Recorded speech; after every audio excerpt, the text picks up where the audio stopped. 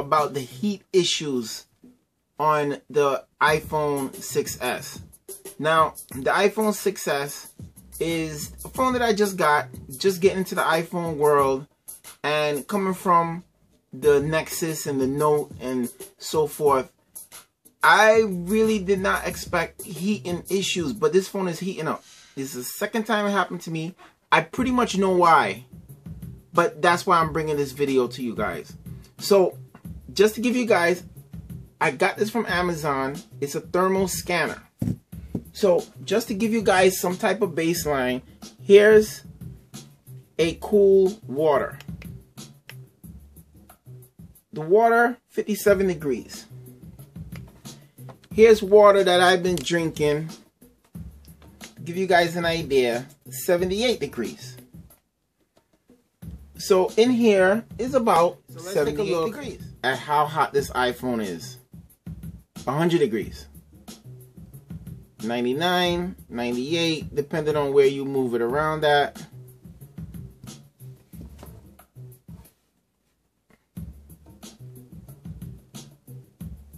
So it gets hot in the back towards the camera, in between the camera and the Apple logo, it gets hot. So if this is what you guys are looking at, now there's no warnings on the phone or anything like that. There's no warnings at all.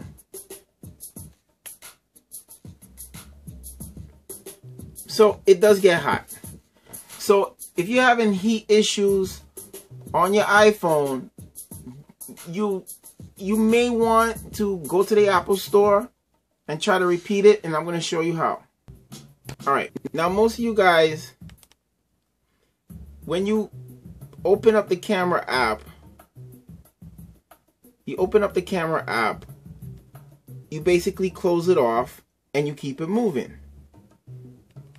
But if you have the the Photos app open, that might be causing an issue as well because you got the Photos app open. And for my situation, I actually have the Photos app plus I have Google Photos on here. So basically guys, if your iPhone feel a little warm, it's probably at a safe number. You know, it's probably at a safe number.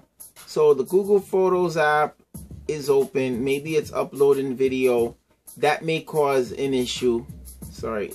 Um, the regular Photos app that come from come with iOS you know, because I was reviewing some of my photos that I took and getting my review ready.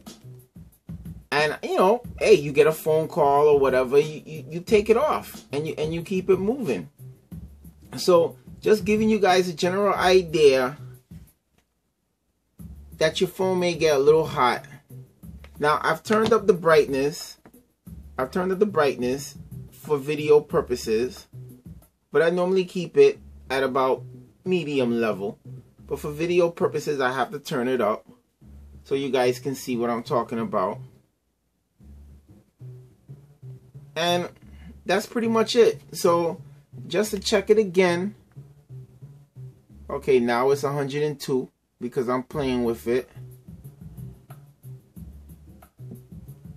101, 99, all right, let's turn it around. Let's point at the bottom of the phone. 95, 94. And once we get to the top, 101. So around 100, 102 degrees, 90 something, the phone gets hot. Now, just for reference, just for reference, here is 83 degrees so a phone that's pretty much cold, just sitting around 83 degrees. And as you saw earlier,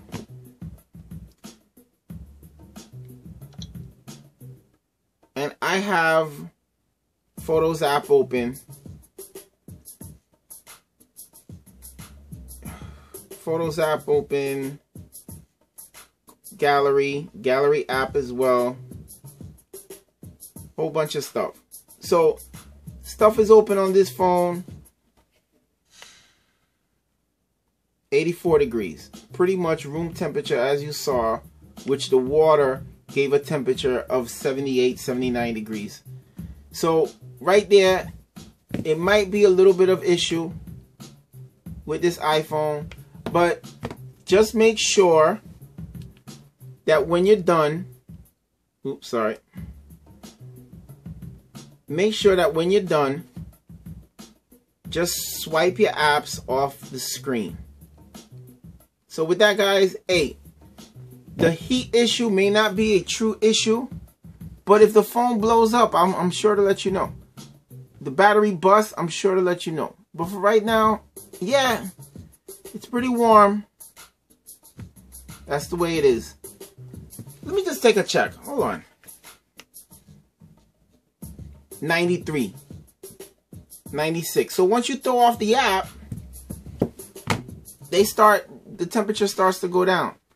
So see you guys in the next one. Maybe it's not a big issue.